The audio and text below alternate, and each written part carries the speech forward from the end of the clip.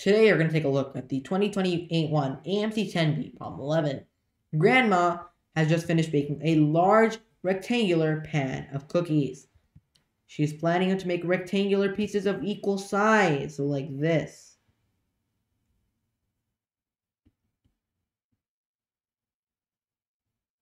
And they're dividing it into a bunch of rectangles, essentially, is what we're doing. And they're dividing something like this, maybe, right? So, what is the greatest number of brownies that Grandma can produce? So let's just say the dimensions are x by y. Oops, this should be y. So we want to find the number of brownies that can be produced.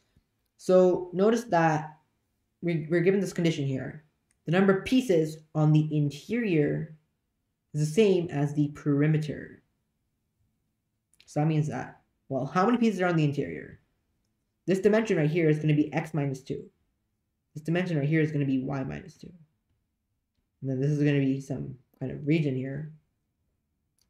So what is x minus 2, y minus 2? We want to like find out that region, right? So we know that x times y is going to be 2 times x minus 2 times y minus 2. Because if the region on the inside and the perimeter is equal, then the overall region is double the interior region, right? Because the area on the inside is A, pieces on the outside is A, and we know that 2A is, is going to be 2 times A inside part, right?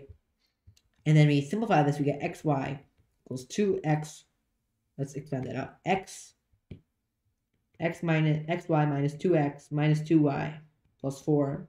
And then from here we just see that xy will then be equal to 2xy minus 4x minus 4y plus 8. And then we see that xy minus 4x minus 4y plus 8 is 0.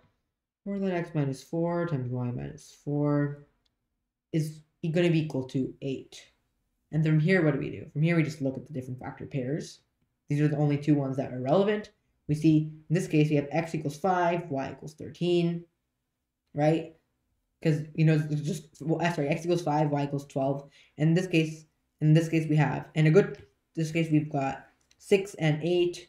And now the try to use which one is greatest? Which one is larger? 5 times 12 or 6 times 8? 5 times 12 is 60, and 4 6 times 8 is 48. So 60 has to be larger and that has to be our answer. We want to find the greatest possible to make.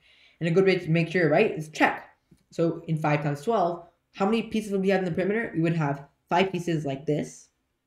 We would have 5 pieces like this. We would have we have we would have we would have 12 pieces on this side, 5 on this side, 12 on this side, and then we would have 4 corner pieces overcounted. So then we would have 30 pieces on the interior on the exterior, and we would then have in a 5 by 12 grid, we would have 3 times we would have 30 pieces on the interior, and then 30 pieces on the interior as well, because it would just be 3 times 10, which is 30. Check its work. We see 60 has to be the correct answer.